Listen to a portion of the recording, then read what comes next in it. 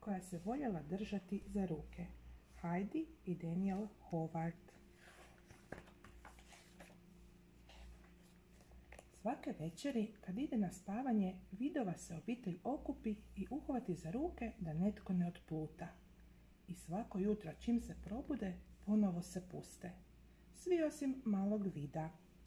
Vid je zabrinut zbog plivanja, zabrinut je zbog ronjenja i boji se da će se izgubiti. Ali najviše od svega brine se da će ostati sam. Svakog jutra majka kaže, vid, molim te pusti me, ništa ne mogu raditi dok me držiš za ruku. Ali vid odmahne glavicom, ne želi je pustiti. Ne mogu sam plivati, zacvili i grčevito se drži za majku. Zna da može plutati, ali svejedno ga je strah pustiti majčinu ruku. Što ako odpluta sve do mora? Samo se pusti vid, nježno kaže majka. No vid odmahne glavicom, ne želi je pustiti. Ostale vidrice odlično su se zabavljale. Igrale se, lovile i zapljuskivale vodom. Vidim se htio pridružiti, ali nije htio pustiti majku i oca. Hajde se igrati, reče otac. Gledat ću te odavde. Bojim se, cvili vid i još čvršće uhvati oca za ruku.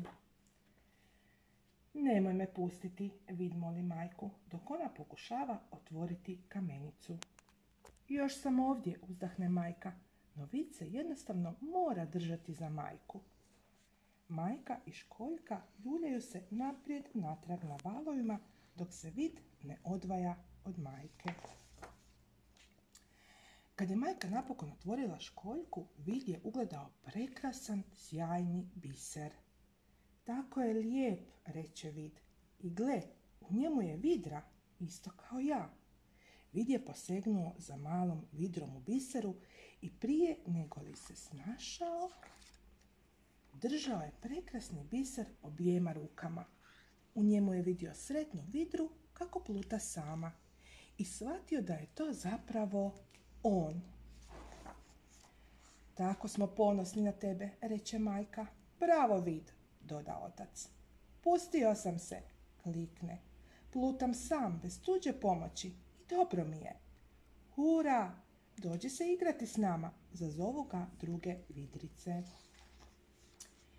I tako sad svakog dana vid zapljuskuje vodom, pliva i igra se sa svojim prijateljima. On je jako sretna mala vidra. No i dalje se veseli odlasku na spavanje kad se cijela obitelj drži za ruke dok polako tone u sanj. Čiča Mića, gotova je priča. Za vas je priču pročitala knjižničarka Tatjana Petrec. Dobar dan. E, nakon što ste otišali u prekrasnu priču, vidra koja se voljela držati za ruke, predlažem da zajedno napravimo jednu ovako, mislim da je jako zgodna mala vidra, koja vam može biti e, kao ukras u sobi, a možete se s njom i igrati. Nije teško, ono što nam treba je e, jedna papirnata vrećica, malo novinskog papira, starog, trebate jednu gumicu, ljepilo i sad ja sam, ovdje imam predložak koji sam isprintala sa interneta, ali vi možete nacrtati svoju vidru, znači samostalno nacrtati glavu i noge. E sad ovako, kako ćemo, što prvo moramo napraviti? Uzmemo papirnatu vrećicu, malo ju rastvorimo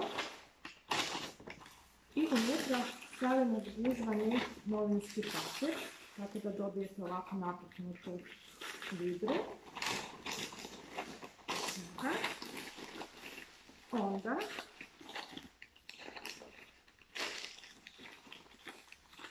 taj papir dolje ovako skupite i, za, i zavežemo sa običnom gulicom. Vaše mame to sigurno imaju kod kuće.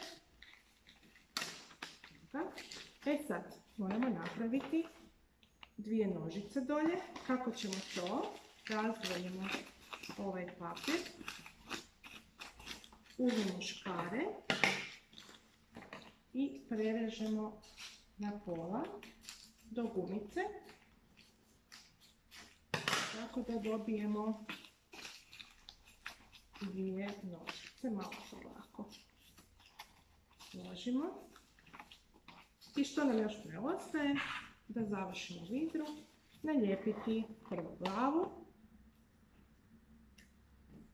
Ako ne lijepite, sad lijepimo glavu, ne stavite ljepilo na cijelu glavu, nego tu samo malo dolje na rub koji ćemo pričvrstiti na vrećicu. Stavite malo više ljepila da se to bolje zalijepi.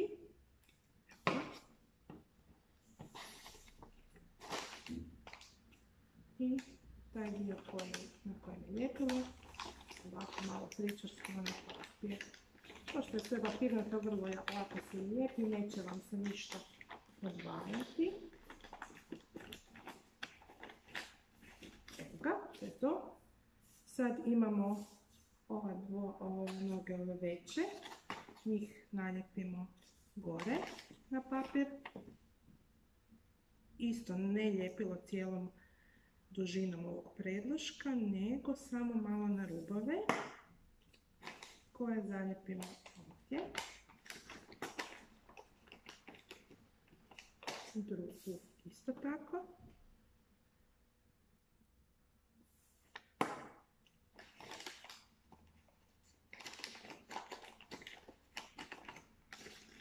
I još su nam ostale ove nožice dolje. Dakle, na svaki ovaj, tu sad malo više ljepila se stavite, tu možete ovako. Ne morate, možete po papiru ovo, uh, po ovoj papirnatoj vrećici i stavite jednu nogu i drugu.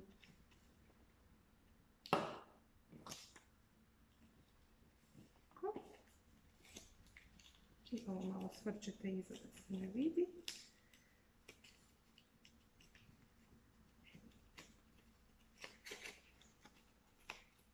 Možete malo iza i zalijepiti sa selotepom da vam se ne vidi ova papirnata vrećica na kraju.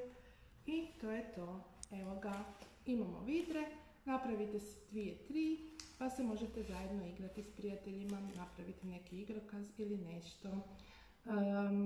želim vam ugodno ljeto, lijep pozdrav i vidimo se u idućoj uh, virtualnoj čitaonici. Bok!